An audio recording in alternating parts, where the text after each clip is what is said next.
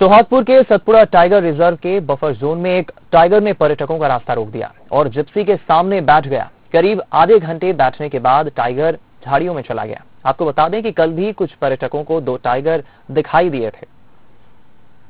सोहागपुर की ये तस्वीरें हैं, जहाँ पर बता दें कि कल यानी रविवार को भी इस तरह की घटना सामने आई थी, जिसमें पर्यटकों को दो टाइगर दिए थे और आज फिर एक बार सोहागपुर से तस्वीरें आई हैं, जिसमें सतपुरा टाइगर रिज़र्व के बफर जोन में टाइगर दिखा है जो जिप्सी के आगे आकर बैठ गया। हालाँकि कुछ देर बाद पर्यटक कुछ देर के लिए तो फ़िलहाल दहशत में आ गए थे, जिसके बाद टाइगर कुछ ही देर बाद वहाँ से निकलकर जंगलों की ओर चला गया।